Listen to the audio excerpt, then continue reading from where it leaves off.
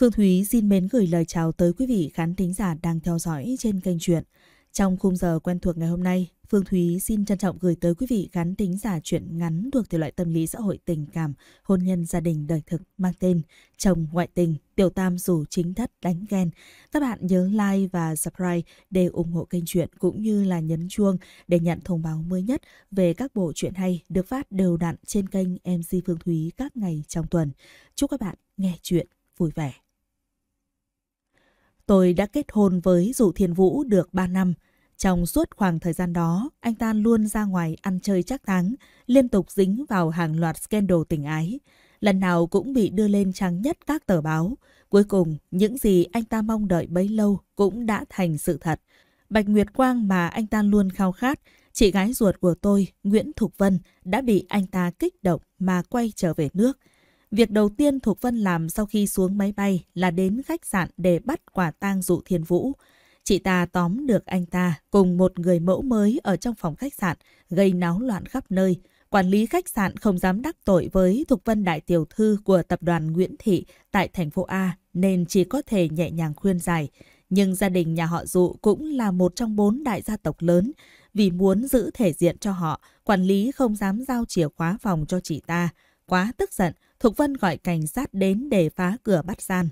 Sau khi tìm hiểu sự việc, cảnh sát thẳng thắn nói rằng chuyện bắt gian thế này thì chỉ có vợ hợp pháp là thích hợp nhất để ra tay.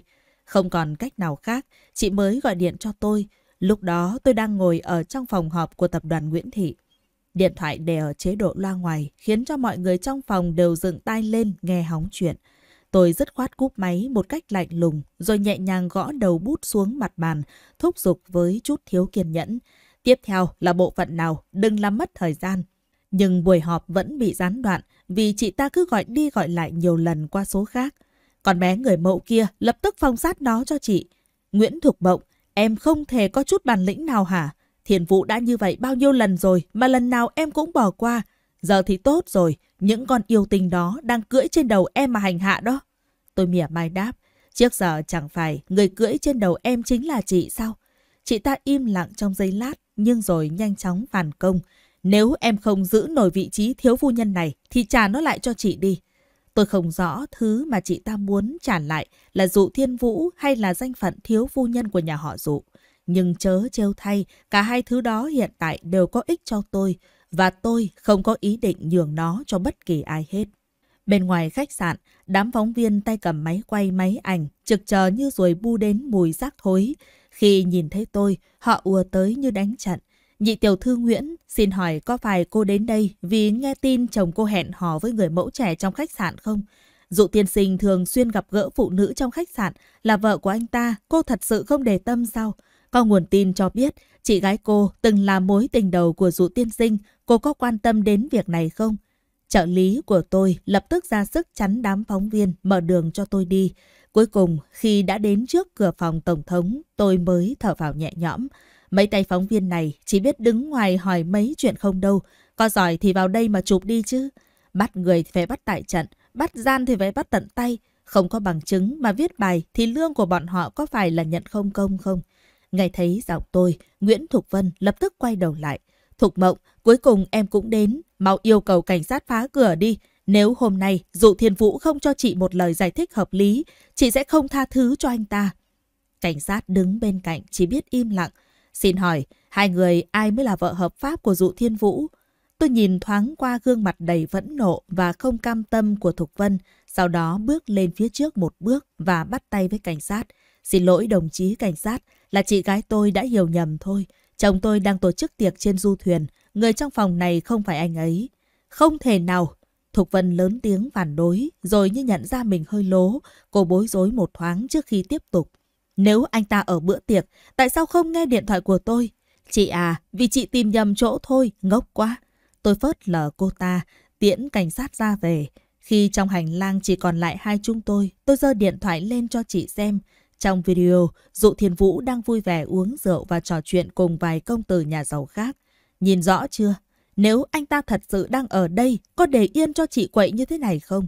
Anh ta đã chẳng sớm mở cửa ra và dỗ dành chị rồi sao? Thục Vân khựng lại trước những lời nói của tôi, nhưng nhanh chóng thay bằng nụ cười ngọt ngào. Thiên Vũ đúng là Chơi bời gì thì cũng phải nghe điện thoại chứ, làm tôi hiểu lầm rồi.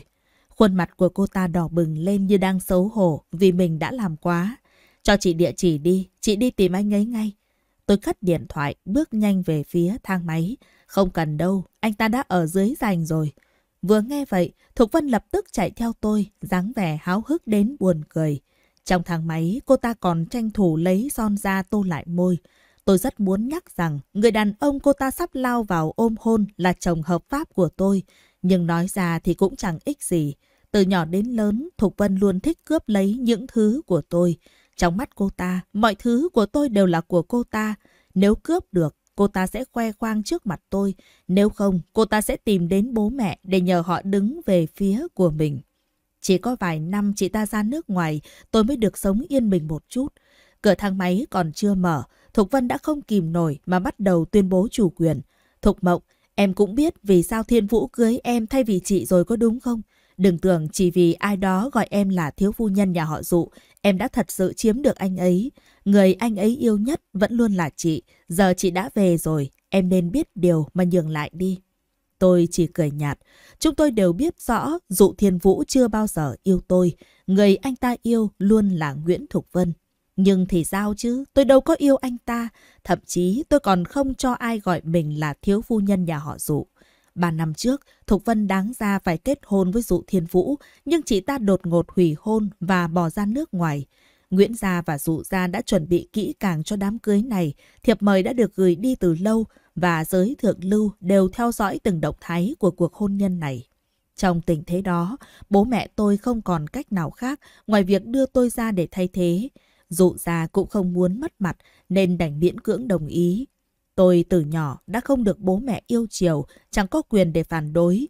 Nhưng dụ thiên vũ thì khác. Anh ta là cháu đích tôn của dụ gia, được cả gia đình cưng chiều. Chỉ cần anh ta nói không, chẳng ai dám ép buộc. Nhưng anh ta lại không từ chối cuộc hôn nhân này. Đêm trước ngày cưới, anh ta say khướt xông vào nhà tôi, chỉ thẳng vào mặt tôi và nói, nếu Nguyễn Gia đã dám đưa cô vào cửa, tôi sẽ khiến cô bước vào bằng chân, nhưng phải lăn ra ngoài. Ai mà không sợ một gã say xỉn chứ? Tôi cầu xin bố mẹ đừng bắt tôi kết hôn. Nhưng họ chỉ cười nhạt, vừa chuẩn bị nước giải rượu cho dụ thiên vũ, vừa cảnh cáo tôi. Chúng tao nuôi mày lớn đến bây giờ rồi. Đây là lúc mày thể hiện giá trị với gia đình. Ngoại trừ cái chết, mày không có lựa chọn nào khác ngoài việc bước vào dụ ra đâu. Lúc đó tôi thực sự đã muốn chết. Người tôi yêu không còn nữa, nhưng tôi vẫn không nỡ chết.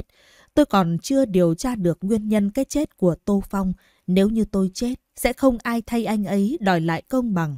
Vì vậy tôi chấp nhận số phận để cho người ta tô son điểm phấn cho mình. Sáng hôm sau, dụ thiên vũ chỉ nhìn tôi một cái thật lâu rồi quay người rời đi. Đám cưới của chúng tôi vẫn diễn ra như kế hoạch. Đêm tân hôn, tôi nghe anh ta gào lên qua điện thoại. Cô ta biết rõ tôi cưới em gái cô ấy mà vẫn không thèm xuất hiện. Tôi đã quá đề cao tình chị em của các người rồi.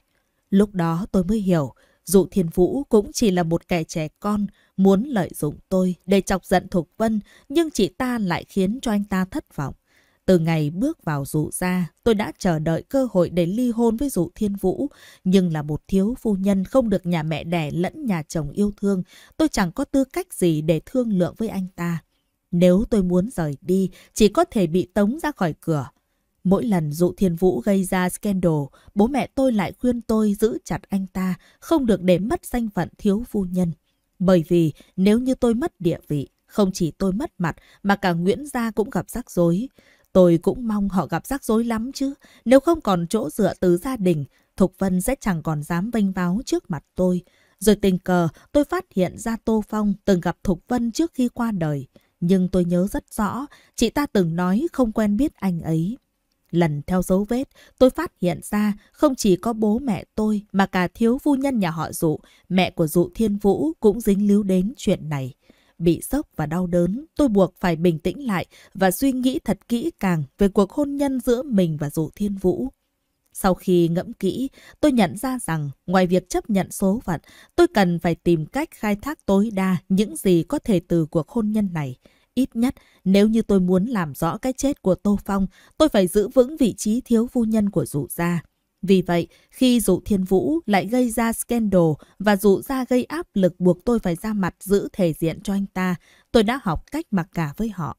Càng ngày tôi càng đóng vai vợ hiền một cách thành thục. Trước mặt người ngoài, chúng tôi là một cặp đôi hạnh phúc. Nhưng khi cánh cửa khép lại, mỗi người lại sống cuộc đời riêng, không can thiệp vào nhau. Dĩ nhiên, so với đàn ông, thứ tôi quan tâm hơn là quyền lực trong tay họ. Chỉ khi đứng trên đỉnh cao và có quyền lực trong tay, tôi mới có thể tìm ra sự thật. Càng lâu dài, tôi càng mong dù Thiên Vũ gây thêm nhiều chuyện. Chỉ cần anh ta tiếp tục làm loạn, tôi sẽ càng có nhiều cơ hội để đổi lấy những lợi ích lớn hơn. Thang máy dừng tại bãi đỗ xe ngầm. Cửa vừa mở ra, ánh mắt chúng tôi chạm nhau. Thiên Vũ. Nguyễn Thục Vân không giấu được sự háo hức. Cô cứ ngỡ rằng dụ Thiên Vũ sẽ ôm chầm lấy mình như lần ở tuần lễ thời trang Paris và hôn cô thật mãnh liệt. Nhưng thực tế hoàn toàn trái ngược. Dụ Thiên Vũ né tránh cô ta một cách khéo léo, rồi duỗi tay dài kéo tôi ra khỏi thang máy. Bên ngoài, đám phóng viên đã ùa tới, trực chờ như đàn kền kền tìm xác. Nhân viên an ninh phải vất vả lắm mới hộ tống được cả ba chúng tôi lên xe an toàn. Dụ Thiên Vũ vẫn tỏ ra quan tâm, chăm sóc tôi hết mực, trong khi Thục Vân thì lại vô tình bị một phóng viên dùng micro đâm trúng. Kẻ lộng lẫy và tinh tế như Thục Vân, giờ đây trông thật thảm hại với Eleanor bị nhòe đi và lông mi giả rơi ra. Cô định nổi cáu nhưng lập tức bị ánh mắt cảnh cáo của Thiên Vũ chặn đứng. Lên xe trước đã, rồi hãy nói. Trong không gian chật hẹp của hàng ghế sau, tôi bị kẹp giữa hai người họ, cảm thấy cực kỳ khó chịu. Tôi chuyển lên ngồi ghế trước nhé. Tôi vừa nói xong, Thiên Vũ đã mở cửa xe và bước ra ngoài. Nhưng thay vì ngồi vào ghế phụ lái như tôi nghĩ, anh lại đi vòng qua bên phía cửa Thục Vân. Dưới ánh mắt áp đảo của Thiên Vũ, Thục Vân miễn cưỡng chuyển lên ghế phụ với vẻ không cam tâm.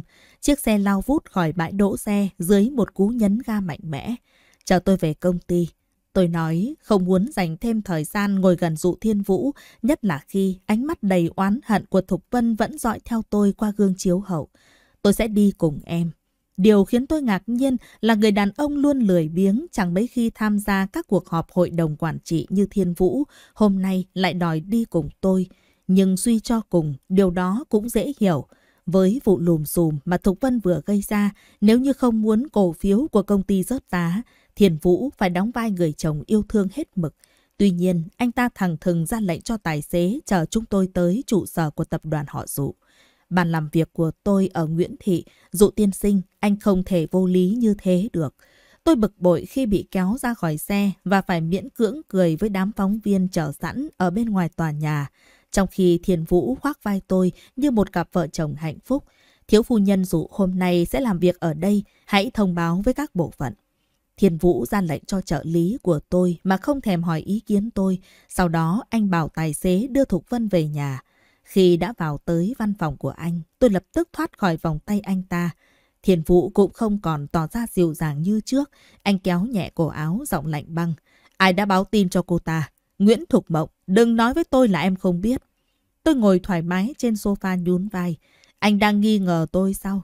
Thục Vân làm ầm lên thế này thì Nguyễn Thị được lợi ích gì chứ? Nếu như tôi muốn làm anh và chị ấy mất mặt, thì hôm nay tôi đã không tới khách sạn để giải quyết vụ lùm xùm này. Thiên Vũ im lặng, không còn gì để nói. Một lúc sau, khi vừa định hỏi tôi thêm về chuyện ở khách sạn, điện thoại của anh reo lên. Không cần đoán cũng biết đó là Thục Vân. Anh vào phòng nghỉ để nghe điện thoại, nhưng khi quay ra, gương mặt anh sầm lại, u ám như mây đen. Tôi có việc gấp cần xử lý. Anh nói rồi vội vàng định rời đi, nhưng tôi bước nhanh tới chắn trước mặt anh. Việc gì gấp đến mức anh phải bỏ đi lúc này? Giữa cổ phiếu của tập đoàn và Thục Vân, cái nào quan trọng hơn?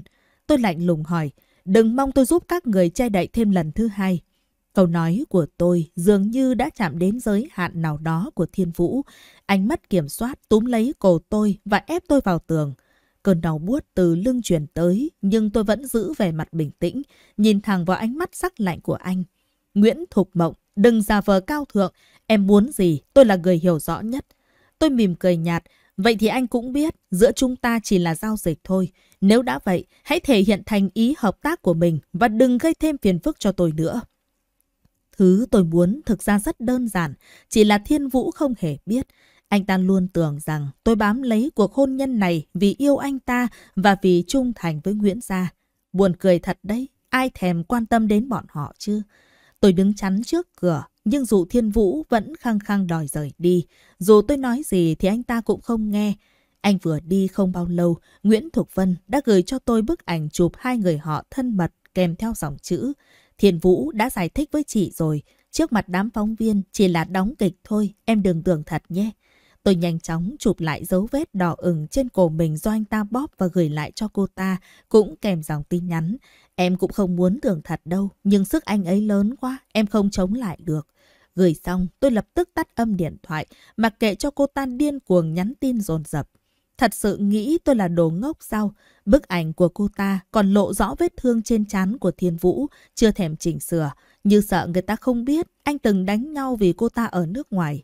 Nhưng đó là chuyện của năm ngoái rồi. Cô ta gửi cả ảnh cũ cho tôi. Rõ ràng lần này trở về là vì bị dồn vào đường cùng. Đã đến lúc tôi đẩy nhanh kế hoạch của mình. Sau khi rời khỏi tập đoàn dụ, tôi không vội về công ty mà đến một câu lạc bộ tư nhân. Tôi đến gặp dụ hòa tụng, chú hai của dụ thiên vũ. Bên cạnh ông ta là người mẫu trẻ mà Thục Vân định bắt gian ngày hôm nay. Hai người quấn quýt ngay trước mặt tôi. Đúng là đàn ông nhà họ dụ, ai ai cũng phong lưu hơn người. Chuyện hôm nay tôi đã giúp ông một tay. Chú hai định cảm ơn tôi thế nào đây? Tôi đi thẳng vào vấn đề và dụ hòa tụng cũng chẳng vòng vo. Chỉ cần là thứ tôi có thể cho, cô cứ mở lời đi. Tôi mỉm cười, đẩy một tập tài liệu đến trước mặt ông ta. Miếng đất ven sông của thành phố tôi đã nhắm đến từ lâu rồi. Nếu như ông giúp được việc này, tôi sẽ biết ơn ông. Dụ hòa tụng lật xem tài liệu, nụ cười trên mặt dần phai nhạt đi. Tôi nhớ khu đất này của tập đoàn dụ cũng đang nhắm tới. Ông ta đẩy tài liệu trở lại. Không được đâu, chọn chuyện khác đi.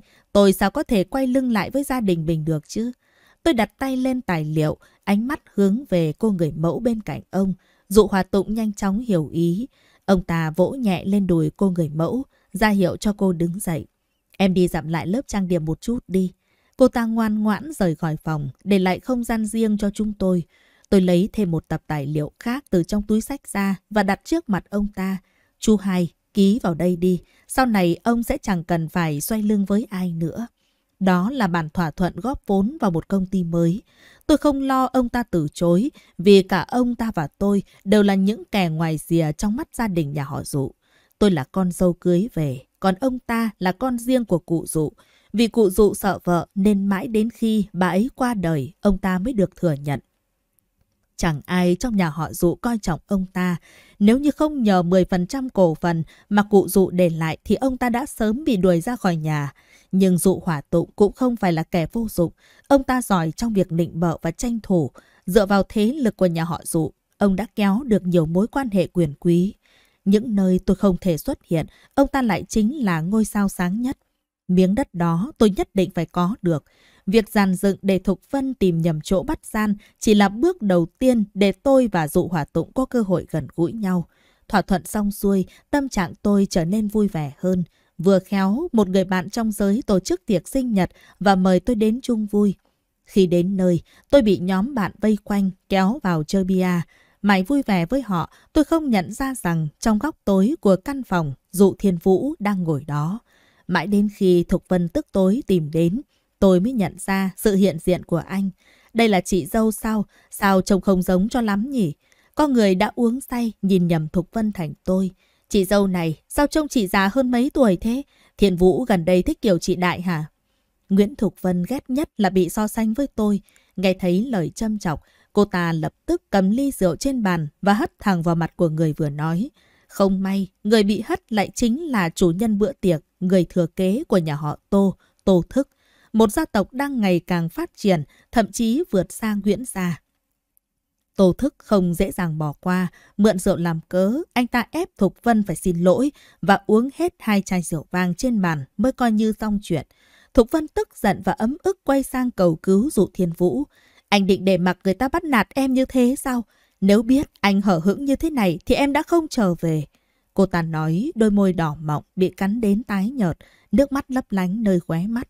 Dụ thiền vũ cuối cùng cũng không thể thở ơ, anh đứng dậy kéo Thục Vân vào lòng và ngẩng đầu tu hết một chai rượu vang. Cả đám bạn nhốn nháo can ngăn, thiền vũ đừng làm quá, chỉ là lời nói bâng quơ thôi, không đáng để so đo với cậu ấy. Đèn bật sáng, Thục Vân nép vào lòng thiên vũ, hướng ánh mắt khiêu khích về phía tôi, chớp chớp mắt đầy đắc ý. Sau đó cô ta dìu Thiên Vũ, người đã ngà ngà say rời khỏi phòng. Những người còn lại ngơ ngác nhìn tôi, há miệng như muốn nói gì, nhưng không tìm được lời phù hợp. Tôi nhún vai, tỏ vẻ không quan tâm và ra hiệu cho họ tiếp tục chơi. Sau đó tôi cầm một chai rượu và ngồi vào trong góc phòng. Trong lòng tôi thoáng nghĩ, nếu như Tô Phong vẫn còn sống, anh ấy sẽ không bao giờ để tôi chịu ấm ức như thế này. Nếu anh không ra đi, ba năm trước tôi đã không phải cưới dụ thiên vũ. Lần đầu tiên tôi muốn uống say để quên hết mọi chuyện, để cơn đau trong lòng dịu lại. Trong cơn mơ màng, tôi cảm giác có người đến ôm tôi. Tôi nhìn thấy sống mũi cao và đôi mắt sâu thẳm của anh ấy. Theo phản xạ, tôi thì thầm. Tô Phong. Người đó khựng lại rồi bế tôi lên ngang người. Tôi cố với tay chạm vào mặt anh, nhưng anh bực bội quay đi, không cho phép. Tôi giận, vùng vẫy, đòi xuống. Kết quả là tôi quậy quá mức, dạ dày cuộn lên từng đợt. Xin lỗi, tôi sẽ đền áo cho anh. Ký ức của tôi chỉ dừng lại ở lời đáp căm phẫn, không cần. Những gì xảy ra sau đó tôi không còn nhớ rõ nữa. Khi tỉnh dậy vào sáng hôm sau, tôi nhận ra mình đang nằm trên chiếc giường quen thuộc và suýt nữa thì bật thốt lên vì hoảng sợ. Tôi có cảm giác kỳ lạ dưới lớp chăn, như thể có thứ gì đó không đúng. Nhị tiểu thư, cô đã tỉnh chưa? Chị Trần quản gia gõ cửa bước vào. Tôi hỏi thăm và được biết chính dụ thiên vũ đã đưa tôi về nhà, nhưng anh không ở lại qua đêm. Anh ấy rời đi lúc mấy giờ? Và tại sao lưng tôi lại đau như thế này? Chị Trần có vẻ khó xử rồi khẽ giải thích. Hôm qua cô say quá, lúc tôi thay quần áo cho cô, không giữ vững nên cô bị ngã. Hóa ra là vậy. Cuối cùng thì tôi cũng nhẹ nhõm thở vào, vì vẫn còn nhức đầu do say rượu. Tôi định bảo chị Trần đừng làm phiền nữa, nhưng chị lại báo rằng có cuộc gọi từ nhà tổ của dụ ra. Tôi vội vàng gọi cho dụ thiên vũ, nhưng điện thoại của anh không ai bắt máy. Phải đến khi tôi lên xe, cuộc gọi mới được trả lời, nhưng là từ Nguyễn Thục Vân. Chuyện gì? Giọng cô ta uể oải khản đặc. Thiên Vũ còn đang ngủ, em có cần hối thúc như thế không? Chưa gì đã gọi liên tục như dục nợ ấy. Tôi hít một hơi thật sâu, cố gắng kiềm chế cơn giận. Nếu chị không gọi anh ấy dậy được, thì khi nào anh ấy dậy, nhớ nói với anh ấy rằng tôi sẽ về nhà tổ. Nếu như có ai hỏi, tôi sẽ nói thẳng rằng anh ấy đang nằm trên giường của chị. Nói xong, tôi cúp máy và bảo tài xế tăng tốc. Dụ ra là gia tộc đứng đầu trong bốn đại gia tộc của thành phố này, với truyền thống hàng trăm năm. Nhà tổ của họ là nơi bàn chuyện đại sự và bất kỳ ai vắng mặt đều phải chịu hình phạt theo gia quy. Nguyễn Thục Vân cũng không hoàn toàn ngốc nghếch. Tôi và Dụ Thiên Vũ gần như đến nhà tổ chỉ cách nhau vài phút. Tôi bảo tài xế đưa cho Thiên Vũ một bộ vest dự phòng và thiện ý nhắc anh che giấu vết son trên cổ. Anh ta khựng lại một chút, sau đó khuôn mặt trở nên lạnh lùng và khó hiểu. Tôi cười nhạt, chuyện trai gái có gì lạ đâu, đây cũng chẳng phải là lần đầu tiên của anh, nhưng đừng có để người lớn khó xử trước mặt mọi người. Nói đến đây là đủ rồi, không cần nói thêm gì nữa. Khi nghĩ lại đêm qua, tôi vẫn cảm thấy có chút lo lắng. Nếu không có Thục Vân làm vật cản, rất có thể tôi đã bị Thiên Vũ chiếm đoạt. Dù sao, chúng tôi cũng là vợ chồng hợp pháp và anh ta hoàn toàn có quyền đưa tôi về từ tay người khác. Trong những năm Thục Vân ra nước ngoài, Thiên Vũ tìm kiếm không ít người tình và tất cả họ đều có ngoại hình giống cô ta. Mà trên đời này, người giống với Thục Vân nhất lại chính là tôi, em gái ruột của cô ấy. Dù Thiên Vũ luôn cảnh báo tôi đừng có vượt quá giới hạn, ánh mắt anh ta dạo gần đây đã khác xưa. Chính vì vậy, tôi mới thúc đẩy Thục Vân quay về để cô ta kiểm soát lại anh ta. Sau khi Thiên Vũ thay xong trang phục, chúng tôi cùng bước vào nhà tổ. Tôi hỏi anh, ông Dụ dạo này thế nào? Đột ngột gọi chúng ta về như thế này, không phải có chuyện gì quan trọng đấy chứ? Khi chỉ có hai chúng tôi, tôi luôn giữ đúng phép tắc trong cách gọi người lớn của gia đình nhà họ Dụ. Cha của Dụ Thiên Vũ bị chuẩn đoán mắc ung thư gan từ hai năm trước. Tin tức này được giấu kín, không ai ngoài gia đình biết rõ tình hình. Tôi hỏi như vậy vì từ trước đến nay, mọi thông báo triệu tập về nhà tổ đều được báo trước ít nhất một ngày, chứ không phải gấp rút như lần này. Và khi tôi đến bãi đỗ xe, tôi đã thấy một chiếc xe mang biển số lạ. Luật sư Trương đã đến rồi. Tôi nghĩ chắc sẽ có chuyện gì đây. Lời của Thiên Vũ xác nhận những gì tôi nghi ngờ, tôi lập tức trở nên cảnh giác. Khi bước vào phòng họp, tôi thấy nơi này đã chật kín người. Gia tộc nhà họ dụ có gốc rễ sâu xa và công ty càng lớn thì càng có nhiều nhánh ở bên tham gia. Nhưng quyền lực vẫn tập trung vào chi của Thiên Vũ. Ông Dụ không xuất hiện, chỉ có bà Dụ đi cùng luật sư của gia đình. Vấn đề phân chia cổ phần được thảo luận kỹ càng. Ngoài các phần cố định, còn có một điều kiện đặc biệt.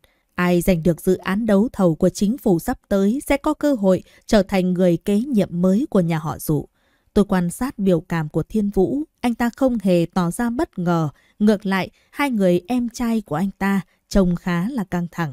Còn dụ hỏa tụng, chú hai của Thiên Vũ vẫn giữ vẻ bất cần và phóng khoáng như thường lệ. Ông ta thậm chí còn thản nhiên từ chối quyền tranh chấp ngay trước mặt mọi người. Anh cả làm mọi thứ phức tạp quá. Thời xưa, vua chọn thái tử, đâu cần thủ tục dườm già như thế này. Dù sao tôi cũng chỉ là hoàng thúc, người thừa kế chẳng bao giờ là tôi. Vậy thì tôi không cần tham gia nữa. Bà dụ chỉ mỉm cười mà không nói gì. Khi luật sư hoàn thành công việc, mọi người cũng lần lượt rời đi. Khi tôi đang định bước ra cùng với bọn họ, thì bà nội dụ gọi tôi lại. Nghe nói chị gái của cháu đã về nước. Nó có gây khó khăn gì cho cháu không? Tôi liếc nhìn Thiên Vũ, nhưng anh không có ý định lên tiếng giúp đỡ. Tôi cố gắng nặn ra một nụ cười. Sao có chuyện đó chứ ạ? Chị ấy là chị gái của cháu mà. Chị ấy luôn mong điều tốt đẹp cho cháu thôi. Bà dụ không nến nang gì, thằng tay ném vài tấm ảnh lên bàn trước mặt tôi. Nhìn xuống, tôi thấy đó là những bức ảnh chụp cảnh thiên vũ ôm Thục Vân rời khỏi bữa tiệc đêm qua. Góc chụp tinh tế, hình ảnh rõ ràng đến mức không thể chối cãi. Dù tôi có đứng ra nhận rằng đó là mình, thì chẳng ai đủ mù để tin lời nói dối ấy. Con còn chưa biết bay mà đã nghĩ mình cứng cáp rồi sao? Đôi lúc ta thực sự không hiểu là do con quen làm con rùa rụt cổ hay là do nhà họ Nguyễn dạy con gái không ra gì. Ngày trước, chính chị con đòi hủy hôn. Mấy năm qua, làm loạn không để ai yên cũng là chị con. Bây giờ vừa về nước, chị con lại cướp hết sự chú ý của người khác. Nguyễn Thục Mộng, con cam tâm để chị gái mình dẫm lên mà thăng tiến là việc của con sau. Nhưng con đừng quên, bây giờ con là thiếu phu nhân của nhà họ dụ. Chị con dẫm lên con, tức là dẫm lên tôn nghiêm của dụ gia. Bà dụ không nỡ trách thiên vũ nên chút hết cơn giận lên đầu tôi. Tôi lặng lẽ cúi xuống nhặt những tấm ảnh trên sàn. Đúng lúc đó, dụ thiên vũ bất ngờ kéo tay tôi đứng dậy. Mẹ, chuyện này không liên quan gì đến Thục Mộng. Mẹ đừng trách cô ấy. Mặt trời hôm nay mọc từ đằng Tây sao? Thiên Vũ lại đứng ra bênh vực tôi cơ đây. Bà dụ dịu lại bảo tôi ra ngoài chờ. Tôi biết điều tránh ra cuộc chiến mẹ con nhà họ. Không dạy gì mà làm bia đỡ đạn. Ra ngoài, tôi gặp dụ hòa tụng vẫn chưa rời đi. Đừng để ý đến những lời của bà cả nói. Thực ra, bà ấy rất coi trọng cháu đấy. Ngay cả thiên vũ cũng đứng về phía cháu. Thế mà cháu còn lo tích góp quỹ riêng để làm gì? Ông ta đang ám chỉ chuyện lần trước. Tôi nhìn quanh, chắc chắn không có ai khác rồi mới nói. Chú hai, cháu nghĩ chú hiểu rõ hơn ai hết một điều. Tiền chỉ có giá trị khi nằm trong tay mình thôi, giống như ngai vàng vậy. Không chỉ đứng nhìn mà mình phải tự ngồi lên mới biết được cảm giác. Về dự án mới, chúng ta cùng hợp tác nhé. Thế nào? Dụ Hòa Tụng không nói thêm gì. Dạo này tình hình ở dụ gia rất căng thẳng. Các phe phái đều dốc sức tranh giành. Thiền Vũ cũng đã bớt chơi bời hơn nhiều. Anh ta thậm chí gọi tôi đến văn phòng để giúp đỡ. Chuyện đấu thầu quan trọng như thế này, sao tôi lại tham gia được chứ? Tôi cố tình tránh né. Thiên Vũ chế nhạo. Nguyễn gia mà ở trong tay em cũng chẳng phát triển thêm được gì đâu. Em nên nhìn xa hơn một chút. Tôi liền đùa. Vậy anh có để tôi ngồi vào ghế chủ tịch của dụ thị không? Thiên Vũ cười nhạt. Em tham vọng quá rồi đấy. Cạnh tranh sự nghiệp với chồng mình. Em đúng là không coi mình là phụ nữ. Anh ta đưa cho tôi một bộ trang sức, bảo tôi cùng đi dự tiệc từ thiện với anh ta. Trước đây, anh ta chưa bao giờ dẫn tôi đi dự những sự kiện như thế này. Tôi có cảm giác Thiên Vũ đang cố tình kéo chúng tôi lại gần nhau, nhưng tôi không cảm thấy cảm động, mà chỉ thấy ghê tởm. Ba năm qua, anh ta như của công, ai cũng có thể sở hữu, chỉ có Thục Vân là vẫn coi anh ta như báu vật. Nhân lúc này, tôi đang một dòng trạng thái chỉ mình Thục Vân có thể thấy. Không lâu sau, cô ta lập tức hùng hổ chạy đến dụ thị tìm tôi. Trong bãi đỗ xe dưới tầng hầm, Thục Vân chặn tôi lại hỏi dồn Bộ trang sức thiên vũ tặng em đâu? Đưa nó đây cho chị. Tôi cố ý liếc về ghế sau rồi nhún vai. Đó là đồ tôi phải đeo trong tiệc tối nay. Nếu chị thích, mai tôi đưa chị cũng được. Thục Vân không thể chấp nhận chuyện Thiên Vũ dẫn tôi đi dự tiệc công khai. Mọi người đều biết tôi là thiếu phu nhân trên danh nghĩa và rằng anh ta luôn chờ đợi Thục Vân quay về. Có kẻ còn cá cược rằng chỉ cần Thục Vân xuất hiện, Thiên Vũ sẽ ly hôn với tôi ngay lập tức. Thấy tôi từ chối, Thục Vân tung chiêu cuối. Em đoán xem, nếu dụ ra biết những việc hèn hạ em từng làm, họ có còn cho em ở lại không? Cả Thiên Vũ nữa, em nghĩ anh ta sẽ đối xử với em như thế nào? Cô ta cầm một chiếc USB, về mặt đầy thích thú, máu trong người tôi như đông cứng lại. Tôi theo phản xạ định giật lấy. Chẳng phải chị đã nói, đã xóa hết rồi sao? Sao vẫn còn? Nhìn tôi hoảng loạn, Thục Vân cười thỏa mãn. Cô ta lấy hộp quà trên ghế sau, vừa mở cửa xe vừa nói. Em biết điều gì làm chị ghét em nhất không? Em ngu ngốc đến mức ai nói gì cũng tin. Chị thực không hiểu sao bố mẹ lại sinh ra một đứa ngốc như em. Điều tôi không bao giờ hiểu được là tại sao dù chúng tôi cùng là con của một mẹ sinh ra, nhưng Nguyễn Thục Vân chưa bao giờ coi tôi là em gái. Trong mắt chị ta, tôi chẳng khác gì kẻ thù. Ngày bé, con búp bê mẹ tặng tôi vào sinh nhật bị chị ta lấy kéo khoét mất mắt, rồi bẻ gãy đầu nhét vào chăn của tôi. Khi tôi ốm, chị ta bỏ muối vào thuốc của tôi. Vừa uống một ngụm, tôi đã phải nhổ ra và bị mẹ mắng cho một trận. Nếu tôi được điểm tốt, chị ta sẽ xé hết vào bài tập của tôi và ném vào bồn cầu. Chiếc bánh sinh nhật bố mua cho tôi, bị chị ta xấu mảnh thủy tinh bên trong, tôi cắn một miếng miệng đầy máu. Nhưng dù chị ta tệ bạc thế nào thì bố mẹ cũng chưa bao giờ trách phạt. Thậm chí tôi thường nghe họ an ủi chị ta sau lưng tôi. Còn là bảo bối của bố mẹ mãi mãi, còn mộng mộng sinh ra chỉ để làm bạn với con thôi. Vì thế, trong suốt những năm tháng sống trong gia đình nhà họ Nguyễn, tôi chẳng khác gì búp bê của chị ta. Khi chị ta vui, tôi được yên ổn. Khi chị ta không vui, đến cơm tôi cũng không được ăn đủ. Lên cấp 3, tôi đoạt giải trong cuộc thi piano, làm lu mờ danh tiếng của chị ta là đại tiểu thư nhà họ Nguyễn. Chị ta liền tung tin đồn tôi hẹn hò và phá thai với một nam sinh. Mẹ tôi bị gọi lên trường và không nói không rằng, tát tôi ngay trước mặt mọi người. Sau đó tôi chuyển trường và gặp Tô Phong. Anh ấy như ánh nắng mùa đông, sưởi ấm tâm hồn tôi. Chúng tôi đến với nhau một cách tự nhiên, giống như định mệnh. Tình yêu đầu đời thật ngọt ngào, đặc biệt là khi người mình yêu cũng chỉ dành tình cảm cho mình. Nhưng Nguyễn Thục Vân giống như cơn ác mộng không thể xua tan trong cuộc đời tôi. Một ngày nọ, chị ta chạy xe hơn 20 cây số đến trường chỉ để tìm tôi, đơn giản vì chị cần ai đó để chút giận. Khi tôi về đến căn hộ, không thấy cô giúp việc đâu, tôi liền quay người định rời đi. Nhưng hai tên con trai cao lớn đã chặn tôi lại trong hành lang. Chúng nhanh chóng lôi tôi vào trong phòng. Tôi kêu cứu nhưng không ai nghe thấy. Thục Vân cầm máy quay, ghi lại từng khoảnh khắc. Dù tôi khóc lóc cầu xin, chị ta vẫn không dừng lại. Chị ta còn bảo, ngay cả khi bố mẹ biết cũng chẳng sao. Nguyễn Gia chỉ cần một đại tiểu thư là đủ rồi. Sống hay chết chẳng ai quan tâm đến em đâu. Sau khi chúng rời đi, tôi một mình leo lên tầng thượng. Ngay khi tôi chuẩn bị nhảy xuống, một giọng nói quen thuộc gọi tên tôi là Tô Phong. Tôi chạy xuống và thấy người anh ấy đầy máu. Anh ấy bảo không biết từ đâu ra một đám côn đồ chặn anh ở cổng trường và đánh anh một trận. Nhưng vì lo lắng cho tôi, anh ấy không vào bệnh viện mà chạy đến tìm tôi ngay. Tôi không dám kể cho anh ấy nghe chuyện đã xảy ra. Nếu bạn chia sẻ một viên kẹo, cả hai sẽ cùng thấy ngọt ngào. Nhưng nếu là thuốc đắng, chỉ cần một người chịu là đủ rồi. Tô Phong rất nhạy bén, anh ấy nhận ra điều gì đó không ổn. Từ đó anh ấy càng gắn bó với tôi hơn. Chúng tôi ở bên nhau cho đến khi tốt nghiệp đại học. Bất ngờ một ngày nọ, anh ấy qua đời trong một tai nạn giao thông. Khi dọn dẹp di vật của anh ấy, tôi tìm thấy một chiếc nhẫn và lời thề cầu hôn viết tay. Lúc đó cả thế giới như sụp đổ trước mắt tôi. Sau tang lễ của anh ấy, ngày nào tôi cũng đứng thẫn thờ bên vệ đường, nhìn xe cộ qua lại. Một cô lao công tốt bụng đã nhắc nhở tôi. Cô bé à, đừng dại dột. Tháng trước, có đôi tình nhân cãi nhau ở đây, chàng trai đã bị xe tông chết. Tháng trước chính là thời điểm Tô Phong gặp tai nạn. Tôi lấy điện thoại cho cô ấy xem ảnh của Tô Phong. Dù mắt cô không còn tốt, nhưng cô vẫn nhận ra anh ấy. Đúng rồi, là cậu ấy. Hai người cãi nhau dữ lắm. Tôi không rõ có phải cô gái đã đẩy cậu ấy hay không, nhưng kết cục thật thảm. Tô Phong là người điềm đạm, ngay cả khi từ chối ai cũng không bao giờ to tiếng. Làm sao anh ấy có thể cãi nhau với một cô gái được chứ? Tôi đăng nhập vào tất cả các tài khoản mạng xã hội của anh ấy, lục tung mọi ghi chép, cố gắng tìm ra manh mối. Cuối cùng tôi tìm thấy một phong thư. tôi vừa định bắt tay vào điều tra thì bố mẹ gọi tôi về nhà. Thục Vân đã bỏ trốn khỏi hôn lễ.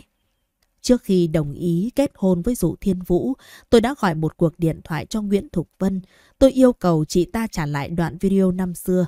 Nếu không, dù có chết, tôi cũng sẽ không lấy hắn. Tôi sẽ để lại một lá thư tuyệt mệnh, kể ra tất cả những gì chị đã làm với tôi trong những năm qua. Dù bố mẹ không thương tôi, Nguyễn Gia cũng chẳng có ý nghĩa gì với tôi. Chị hãy suy nghĩ cho kỹ. Nguyễn Thục Vân cuối cùng đành phải xóa đoạn video ngay trước mặt tôi và cam đoan không giữ bản sao. Nhưng tôi không tin chị ta. Tôi biết nếu bị dồn đến đường cùng, chị sẽ lại dùng đoạn video đó để uy hiếp tôi. Và điều tôi cần chính là đòn quyết định cuối cùng của chị. Buổi tiệc từ thiện lần này sẽ được phát sóng trực tiếp trên nền tảng mạng xã hội, nên Nguyễn Thục Vân đặc biệt trân trọng cơ hội này. Chị ta ăn mặc lộng lẫy, vừa xuất hiện đã thu hút mọi ánh nhìn. Trong video trực tiếp, tôi thấy chị khoác tay dụ thiên vũ, nhưng anh ta cố gắng rút tay ra để trò chuyện với người khác. Dù vậy, Thục Vân cứ bám giết lấy anh ta như một miếng cao sán không thể gỡ ra. Trợ lý của dụ thiên vũ gọi điện cho tôi bảo, Phu nhân, dụ tổng yêu cầu cô đến trong vòng nửa tiếng. Tôi chỉ nhàn nhạt, nhạt đáp lại. Là cấp dưới, quan trọng nhất là phải biết ý của sếp. Người nào đang được cưng chiều nhất thì mới nên gọi là phu nhân. Nếu không cẩn thận, có ngày anh bị đuổi mà không hiểu vì sao đâu. Tôi không hứng thú tham gia màn tranh chồng với Thục Vân. Lúc này tôi còn đang bận chỉnh sửa video. Chị ta dùng đoạn video cũ để uy hiếp tôi, còn tôi thì lại có trong tay những tài liệu mới hơn, nóng hổi hơn. Tôi đã gửi đoạn video được chỉnh sửa đến các kênh truyền thông nước ngoài. Ngay khi tin tức về buổi hội ngộ của người thừa kế tương lai của Dụ Gia và Bạch Nguyệt Quang được đưa lên trang nhất, Nguyễn Thục Vân lập tức trở thành chủ đề nóng trên mạng xã hội, lăng nhăng, tụ tập thác loạn, đủ mọi thành phần, mọi sắc tộc. Khi tôi còn đang ngủ bù thì bố mẹ đã tìm đến tận cửa. Họ yêu cầu tôi ra mặt phủ nhận và nhận rằng người trong video là tôi. Họ nghĩ tôi điên chắc. Tôi lạnh nhạt nhìn họ. Là chính các người nuôi dạy ra một đứa con gái hư hỏng. Giờ lại muốn tôi gánh tội thay sao? Dựa vào đâu chứ? Mẹ giơ tay định tát tôi, nhưng tôi đã nắm chặt cổ tay của bà. Nếu mẹ không muốn tôi gọi mẹ thêm lần nào nữa, thì cứ đánh đi. Tôi đẩy bà ngã xuống đất, đứng từ trên nhìn xuống khuôn mặt bàng hoàng của bà ta. Tốt thôi. Tôi không gọi thì không gọi, gọi cũng có ích gì đâu. Bố tôi giận dữ lao tới, cũng định đánh tôi. Tôi ngẩng cao đầu không hề tỏ ra sợ hãi. Hãy nhìn kỹ xem cái tát này sẽ phải trả giá bằng gì. Đừng quên, tôi là vợ của dụ thiên vũ, là thiếu phu nhân của dụ gia. Con gái cưng của các người, đại tiểu thư Nguyễn Gia, chẳng qua chỉ là một kẻ lăng loàn thôi. Bàn tay của ông dừng giữa không trung, tôi rút điện thoại gọi cho tài xế, vừa quay đầu nhìn bố mẹ. Từ nhỏ đến lớn, các người đã bao giờ đối xử với tôi như với Thục Vân chưa? Chị ta hành hạ tôi, các người đều giả vờ không thấy. Tôi sống sót đến giờ này, hoàn toàn nhờ vào may mắn. Còn những gì chị ta làm với tôi, các người chẳng hề quan tâm. Muốn tôi gánh tội cho chị ta sao? Kiếp sau cũng không bao giờ có đâu. Nói xong tôi bước thẳng ra cửa, điện thoại không ngừng đổ chuông là phu nhân rủ ra gọi tới. Đúng là sóng chưa yên, gió đã lại nổi lên. Tôi không nghe máy, trực tiếp tắt cuộc gọi. Phu nhân rủ ra nhất định sẽ nổi giận và bà ta sẽ chút giận lên ai thì tôi đã quá rõ. Khi tôi quay lại Nguyễn Thị, toàn bộ thành viên hội đồng quản trị đều đã có mặt. Ai nấy đều nhìn tôi với ánh mắt trách móc. Tôi bình tĩnh đáp. Sao thế? Giờ Nguyễn ra do tôi quyết sao? Tính khí của đại tiểu thư ngay cả bố mẹ tôi còn không quản được. Các người đổ hết lên đầu tôi thì có ích gì chứ? Tôi lấy ra lá đơn từ chức đặt thẳng trước mặt họ. Tôi không hầu hạ nữa. Ai thích giữ cái đền rách này thì giữ đi. Đám cáo già bắt đầu hoảng hốt. Dù sao thì tôi vẫn là thiếu phu nhân của dụ gia. Nếu như tôi chịu cầu xin dụ gia, Nguyễn Thị sẽ không đến nỗi rụp đổ. Bọn họ đều bắt buộc phải thỏa hiệp, ký vào bản thỏa thuận đặt cược với tôi. Nếu tôi thua, tôi chỉ là phó tổng giám đốc điều hành và có thể từ chức để chịu trách nhiệm. Nhưng nếu tôi thắng, dù con tàu Nguyễn Thị chỉ còn lại chút ván gỗ mục nát, nó cũng sẽ thuộc về tôi. Dụ Thiền Vũ từng có bao nhiêu scandal đi chăng nữa, truyền thông cũng chỉ coi đó là công cụ để câu view. Dù sao những thế thần ấy cũng chỉ là vai phụ thoáng qua, người ta sẽ nhanh chóng quên đi khi sự việc qua đi. Nhưng lần này thì khác, người tình đầu tiên và cũng là Bạch Nguyệt Quang của Tổng Tài đã từng bỏ trốn trong bí ẩn và giờ đây quay về sau khi đã trải qua bao nhiêu cuộc tình phong ba. Dụ Thiền Vũ nhanh chóng bị cuốn vào vòng xoáy dư luận. Tôi, với tư cách là chính thất, lại không nói một lời. Dù dụ gia đã sử dụng bao nhiêu mối quan hệ cũng không thể dập tắt được ngọn lửa này. Dụ Thiên Vũ vừa phải đối phó với truyền thông để bảo vệ hình ảnh của dụ gia, vừa phải tìm cách để giải thích với các đối tác. Khi anh ta đang bận rộn tối tăm mặt mũi, Nguyễn Thục Vân lại không chịu yên thân. Thấy bố mẹ không thể ép buộc được tôi, chị ta đích thân tìm đến tôi. Lần này chị ta lại lấy chiếc USB để uy hiếp tôi. Tốt thôi, chị cứ đăng video đó lên mạng ngay đi, tôi chẳng sợ gì cả. Dù sao, Nguyễn Gia cũng đang đứng trên bờ vực rồi, cùng lắm thì chúng ta chết chung thôi. Thục Vân sững người, cô không sợ dụ ra sẽ đuổi cô ra khỏi nhà sao? Tôi bật cười, với một người chị thích nổi tiếng như chị ở đây, chị nghĩ dụ ra sẽ coi trọng tôi ư. Chị luôn nói rằng dụ thiên vũ yêu chị đến chết đi sống lại mà, đúng không? Chứng minh cho tôi xem đi, xem anh ta yêu chị đến mức nào. Nguyễn Thục Vân bị lời nói của tôi kích động, quả thực đã làm ra chuyện ngu ngốc. Chị ta chạy lên tầng thượng của tòa nhà dụ thị và yêu cầu gặp cả tôi và dụ thiên vũ. Khi chúng tôi đến nơi, bên dưới tòa nhà đã chật kín phóng viên và cả máy bay không người lái đang chụp ảnh từ trên cao. Nhưng ngay sau đó, lực lượng bảo vệ của dụ thị nhanh chóng giải tán đám đông. Nguyễn Thục Vân tuyên bố nếu dụ thiên vũ không đồng ý ly hôn với tôi và cưới chị ta, chị ta sẽ nhảy xuống ngay lập tức. Thiên Vũ, anh thật sự muốn nhìn em chết sao? Bao nhiêu năm tình cảm của chúng ta, anh nhẫn tâm vậy ư? Dụ Thiên Vũ nhìn chị ta bằng ánh mắt lạnh lẽo chưa từng thấy. Anh ta bước lên phía trước một bước, bình tĩnh nói. Nếu chỗ chị đứng không phải là tòa nhà dụ thị, chị nghĩ tôi sẽ đến đây sao? Nếu muốn chết thì đi xa mà chết, đừng đến đây gây họa cho tôi. Tôi từng nghĩ dụ thiên vũ có thất vọng với Thục Vân, ít nhất anh ta vẫn sẽ quan tâm đến tính mạng của chị ta. Nhưng anh lại quyết tuyệt đến mức khiến cho tôi phải nhìn anh ta bằng con mắt khác. Từ khoảnh khắc chị quyết định chia tay tôi, mọi thứ giữa chúng ta đã kết thúc. Nguyễn Thục Vân, vợ của tôi bây giờ là Thục Mộng. Tôi mong chị có thể chấp nhận sự thật và đừng quấy dày cuộc sống của vợ chồng chúng tôi nữa. Nói rồi anh ta bất ngờ ôm lấy tôi, không rõ là để diễn trò hay chỉ vì muốn làm cho Thục Vân tức giận. Nguyễn Thục Vân không chấp nhận được việc dụ Thiên Vũ thay lòng, chị ta gào lên đầy phẫn nộ. Thiên Vũ, ba năm trước em bị ép buộc, em chưa bao giờ muốn chia tay với anh là vì... Vì lý do gì không còn quan trọng nữa. Dụ Thiên Vũ lạnh lùng cắt ngang lời chị ta. Dù ai đó ép buộc chị chia tay với tôi, chẳng ai bắt chị phải lên giường với kẻ khác cả. Chị tự rẻ rúng mình, đừng nhắc lại những chuyện đã qua nữa. Tôi nhìn vào gương mặt cứng đơ của dụ thiên vũ, trong lòng đã dần dần hiểu rõ. Hóa ra, anh ta đã biết chuyện đó. Quả nhiên, kẻ chơi với quyền lực không ai là không tàn nhẫn. Nguyễn Thục Vân hoàn toàn tuyệt vọng. Có lẽ ban đầu chị ta chỉ định diễn một vở kịch để ép dụ thiên vũ ly hôn với tôi. Nhưng giờ đây, từ đôi mắt chị ta, tôi đã không còn thấy chút hy vọng nào. Dù vậy, tôi biết rõ tính cách chị ta. Dù có chết, chị ta cũng không buông tha cho tôi. Cuối cùng, Nguyễn Thục Vân đã đăng đoạn video năm xưa lên mạng. Nhìn thấy vẻ mặt kinh ngạc của dụ thiên vũ, chị ta mỉm cười mãn nguyện. Cô em gái của tôi, có gì mà trong sạch chứ? Cô ta còn đáng khinh hơn cả tôi nữa. Dụ thiên vũ, anh sẽ phải hối hận. Nói xong, chị ta định nhảy xuống, nhưng các nhân viên cứu hộ đã kịp thời kéo chị ta lại.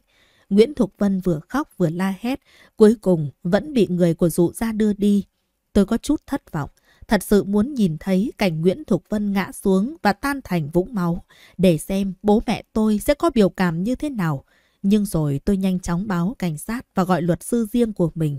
Tôi nhặt chiếc điện thoại Thục Vân dùng để phát video, đưa cho cảnh sát làm bằng chứng để khởi tố. Thưa cô Dụ, chúng tôi sẽ niêm phong chiếc điện thoại này và có thể sẽ mời cô hợp tác điều tra nếu cần thiết. Cô yên tâm, những video đã được đăng lên mạng sẽ nhanh chóng bị gỡ xuống. Tôi gật đầu, việc này tôi đã lo liệu trước, bởi vì từ đầu tôi đã thuê một chuyên gia máy tính đảm bảo rằng video mà Thục Vân tải lên chỉ để lại dấu vết đăng tải, nhưng không ai thực sự xem được. Chứng cứ của chị ấy sẽ được ghi nhận, nhưng tôi tuyệt đối không cho phép bất kỳ tổn thương nào tái diễn. Ngay cả chiếc điện thoại giao cho cảnh sát cũng có luật sư giám sát quá trình niêm phong và lập hồ sơ. Mọi thứ trên tầng thượng nhanh chóng trở lại yên tĩnh. Dụ Thiên Vũ dần bình tĩnh sau cơn sốc. Anh ta nhìn tôi bằng ánh mắt lạ lẫm. Nguyễn Thục Mộng, rốt cuộc em còn bao nhiêu chuyện giấu anh. Tôi mỉm cười vô tội. Đây có phải chuyện vẻ vang gì đâu mà tôi phải khoe khoang khắp nơi. Em biết anh không hỏi về video. Dụ Thiên Vũ lạnh lùng cắt ngang. Em đã sắp đặt để Thục Vân quay về nước, cố ý để lộ hành tung của tôi cho cô ấy. Chính em đã khiến cô ấy thay thế em tại bữa tiệc làm mọi thứ trở nên ẩm ý. Vở kịch hôm nay cũng do em đạo diễn, phải không? Anh ta chỉ tay về phía xung quanh. Em thực sự muốn làm gì, trả thù Thục Vân cũng không cần phải hy sinh bản thân như vậy. Em không quan tâm đến vị trí thiếu phu nhân nhà họ dụ nữa sao? Tôi bước lên phía trước một bước, nhìn thẳng vào mắt anh ta. Thế còn anh, anh đã bao giờ quan tâm đến tôi, người mang danh thiếu phu nhân nhà họ dụ chưa? Dụ thiên vũ khựng lại, ánh mắt thoáng chút bối rối. Một vài giây căng thẳng trôi qua, anh ta dịu giọng. Tất cả sẽ kết thúc thôi. Thục mộng, chúng ta bắt đầu lại từ đầu, được không? Tôi không trả lời, chỉ lướt qua anh ta mà đi. Nhưng dụ thiên vũ ôm chặt tôi từ phía sau. Anh không dám hứa rằng anh sẽ yêu em nhiều, nhưng ít nhất không ai hợp với vị trí thiếu phu nhân nhà họ dụ hơn em. Thục mộng, cho chúng ta một cơ hội được không? Nghe những lời này tôi chỉ thấy buồn nôn thôi. Nếu tôi tin anh ta thì đúng là tôi thật hèn hạ. Tôi gỡ tay anh ta ra, thậm chí còn chỉnh lại cổ áo cho anh ta. Anh nói đúng, mọi chuyện rồi sẽ kết thúc. Khi tất cả kết thúc, chúng ta sẽ nói chuyện tiếp. Dù là dụ gia hay là Nguyễn gia, tất cả những kẻ đã nhúng tay vào cái chết của Tô Phong, tôi sẽ không để ai thoát. Ba năm qua, nhờ bức thư tố cáo mà Tô Phong để lại, tôi đã lần ra sự thật đằng sau cái chết của anh ấy. Tô Phong vốn là sinh viên tài năng ngành kinh tế, được thực tập tại chi nhánh của dụ thị. Nhờ thành tích xuất sắc, anh ấy được điều lên tổng công ty. Tại đây, anh ấy phát hiện ra những vấn đề nghiêm trọng trong dòng tiền và sổ sách của công ty. Anh ấy lặng lẽ thu thập bằng chứng để báo cáo cấp trên, nhưng hành động của anh ấy không qua mắt được ban lãnh đạo. Sau đó có người đã gặp riêng Tô Phong để đe dọa và mua chuộc. Tôi hiểu rõ Tô Phong, anh ấy không bao giờ thỏa hiệp trước quyền lực và càng không thể bị cám dỗ bởi tiền bạc. Chính vì kiên quyết tố cáo, hai gia đình nhà họ Dụ và gia đình nhà họ Nguyễn đã bàn bạc và quyết định thủ tiêu anh ấy. Người đóng giả tôi để dụ Tô Phong đến ven đường hôm đó chính là Nguyễn Thục Vân. Vụ tai nạn tình cờ sau đó là màn kịch đã được giàn dựng từ trước với tài xế xe tải mệt mỏi gây ra thảm kịch. Để đảm bảo không bỏ sót bất kỳ bằng chứng nào, tôi đã thu thập đủ mọi tài liệu về việc dụ Gia và Nguyễn Gia rút vốn, vay tiền trái phép và mở dự án bất hợp pháp. Tôi cũng tìm ra gia đình của tài xế xe tải và cuối cùng gặp được hắn ở trong tù. Tôi nhất định phải đích thân đưa những kẻ ác này ra trước pháp luật, bắt chúng phải trả giá cho cái chết của Tô Phong. Tại buổi đấu thầu dự án của chính phủ, Dụ Thiên Vũ nghĩ rằng tôi ăn mặc lộng lẫy chỉ để tôn vinh anh ta. Nhưng khoảnh khắc kết quả được công bố, ánh mắt anh ta nhìn tôi như muốn ăn tươi nuốt sống. Tôi chẳng buồn quan tâm vì từ giây phút này mọi thứ đã bước vào giai đoạn đếm ngược. Dù Dụ Thiên Vũ muốn trả thù tôi cũng chẳng còn cơ hội nữa. Từ nay, ở thành phố này sẽ không còn Dụ Thị và Nguyễn Thị nữa, mà chỉ còn lại tập đoàn Tô Vân. Nhóm điều tra đặc biệt nhanh chóng vào cuộc. Dụ Thị và Nguyễn Thị lần lượt bị niêm phong chỉ cách nhau có một ngày. Tất cả những người liên quan bị tịch thu hộ chiếu, giấy tờ tùy thân và cấm xuất cảnh. Từng chồng sổ sách kế toán bị niêm phong, mang đi cùng với những máy tính văn phòng. Có đến hơn 10 chiếc xe rời khỏi trụ sở dụ thị, chở theo toàn bộ tài liệu phục vụ điều tra. Lúc dụ Tụng Hòa tìm gặp tôi, tôi đang bận tối mắt với công việc. Việc chuyển giao nhân sự từ Nguyễn Thị sang công ty mới của tôi phải được kiểm soát nghiêm ngặt. Nguyễn Thục Mộng, cô qua sông chặt cầu, dựa vào đâu mà đá tôi ra khỏi công ty. Cô tính toán với tôi từ đầu đến cuối. Dụ Tụng Hòa giận dữ, không thèm giữ mặt mũi trước mọi người. Tôi vẫn cúi đầu sắp xếp tài liệu, chỉ ngước mắt nhìn ông ta một thoáng. Chú hai, nếu là chú, chắc chắn chú sẽ không nghĩ thế. Tôi ra hiệu cho những người khác rời đi, rồi bình thản nói. Tất cả tài sản của dụ thị đều bị phong tỏa, nhưng tại sao trong tài khoản của chú vẫn còn một khoản tiền khả dụng? Đó là tiền sạch chú kiếm được khi đi cùng tôi. Dụ tụng hòa không cãi lại, ông ta biết rõ hơn ai hết rằng giờ ông ta không đủ tư cách để tranh cãi với tôi. Tôi trả tiền cho ông ta, thứ nhất là vì ông ta thực sự đã giúp tôi, và thứ hai là vì ông ta không phải nhân vật trung tâm trong dụ thị. Những chuyện bẩn thỉu ông ta chưa có cơ hội để tham gia. Tôi xem tin tức và biết được rằng sau khi dụ thị gặp chuyện, dụ lão gia đã qua đời chỉ sau một tuần. Đáng tiếc, đến phút cuối đời, ông muốn gặp lại con cháu lần cuối cũng không thể gom đủ vì phần lớn họ đang bị điều tra. Nguyễn Thục Vân bị bố mẹ tôi đưa vào trại tâm thần, hy vọng tránh được sự trừng phạt của pháp luật. Nhưng không sao, vì cô ta không thể thoát khỏi sự trừng phạt của tôi. Bố mẹ tôi cũng bị tạm giữ để điều tra. Khi luật sư hỏi ý kiến, tôi đã dứt khoát. Nếu họ có tội thì cứ nhận tội, nếu vô tội thì chẳng cần bào chữa cũng không sao. Dù tôi từng giữ chức vụ quan trọng trong Nguyễn Thị, nhưng tôi đã đích thân đứng ra tố cáo. Bố mẹ tôi có muốn đổ tội lên đầu tôi cũng chẳng thể được. Việc xử lý các vụ án kinh tế không đơn giản, phải đến khi dự án mới của tôi hoàn thành thì phiên tòa mới khép lại. Hơn 20 thành viên cấp cao của dụ thị lần lượt bị kết án tù với thời hạn từ vài năm đến hơn chục năm. Người nhận án nặng nhất là thiếu phu nhân nhà họ dụ, không chỉ vì tội danh kinh tế mà còn vì bà ta đã tham gia vào kế hoạch sát hại Tô Phong. Tôi đã nghe chính Nguyễn Thục Vân thú nhận rằng mọi chuyện đều do thiếu phu nhân nhà họ dụ sắp đặt. Nguyễn Thục Vân không muốn tham gia, nhưng thiếu phu nhân nhà họ dụ cấm chị ta cho dụ thiên vũ biết sự thật, khiến chị ta lo sợ sẽ mãi không có cơ hội trở lại bên dụ thiên vũ. Nhưng Nguyễn Gia khi đó đang khủng hoảng tài chính và cần sự trợ giúp từ dụ thị. Bố mẹ tôi nghĩ rằng vì người này thay Thục Vân gà vào dụ gia là tôi, đứa con dễ sai khiến thì việc đưa cô ta quay lại dụ gia chỉ là chuyện sớm muộn. Nhưng họ không ngờ thiếu phu nhân nhà họ dụ vốn đã có kế hoạch từ trước. Bà ta chưa từng coi trọng Nguyễn Thục Vân, người mà bà ta muốn làm con dâu từ đầu đến cuối chính là tôi. Ban đầu tôi không nhận ra, nhưng sau khi Nguyễn Thục Vân về nước, tôi dần hiểu rõ mọi chuyện. Thiếu phu nhân nhà họ dụ cần một người có thể giữ bình tĩnh trong mọi tình huống, biết tiến lùi đúng lúc để hỗ trợ dụ thiên vũ. Đồng thời, bà cũng muốn kiểm soát Nguyễn Gia trong tay mình bằng cách lợi dụng Nguyễn Thục Vân. Bà ta đã kiểm soát được Nguyễn Gia và loại bỏ những mối đe dọa trong nội bộ dụ thị. Việc bố mẹ tôi tham gia vào kế hoạch sát hại Tô Phong đã bị đưa ra ánh sáng, nhưng vì họ không phải là chủ mưu nên chỉ bị kết án lần lượt 8 năm và 5 năm tù.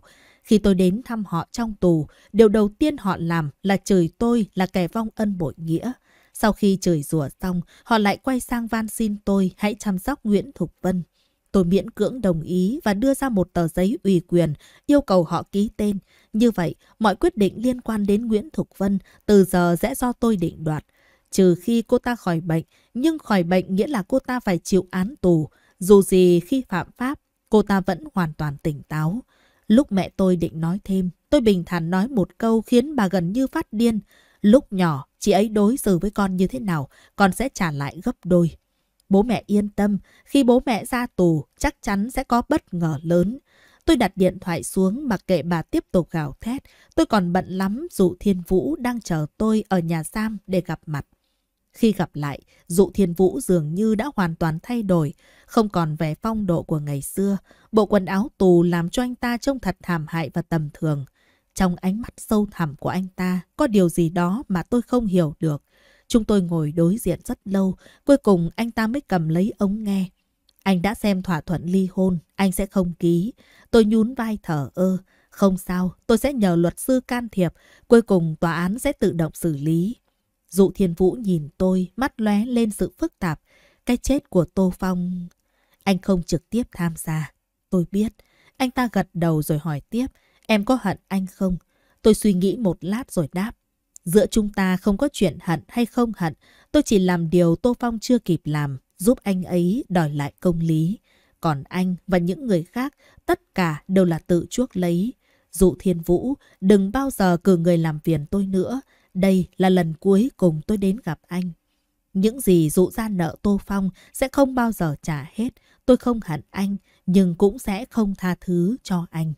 Vì những người như anh ta, tôi đã mất đi lý do để tiếp tục sống.